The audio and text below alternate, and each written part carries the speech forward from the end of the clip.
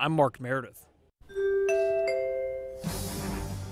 It is a weather alert day. We are not accustomed to chilly temperatures like this during the month of April. Yep, it is cold, Robin. We got rain on the way. Yeah, April Fool's, no joke. I know joke. that's probably been used a few times today, but it really comes into play today because this weather we're seeing is more like uh, winter weather as Mm-hmm. opposed to spring. But we'll get to that in a moment. Let's take you back in time a few hours or so. We had these wonderful folks come by from Classical Conversations Homeschool Group.